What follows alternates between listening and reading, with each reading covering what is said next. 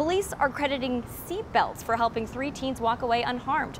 News Channel 5's Blake Grosnowski joins us live right now from Gallatin Pike. Blake, how did this all happen?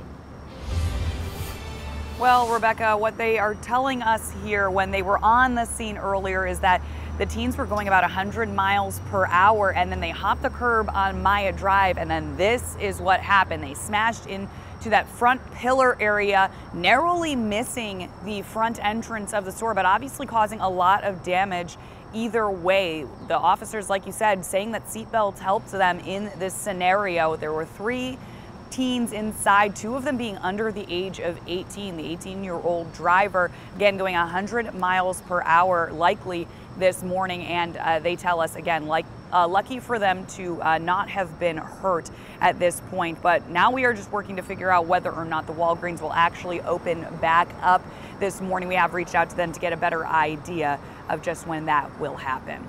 Live in Madison, Blake Rosnowski, News Channel 5.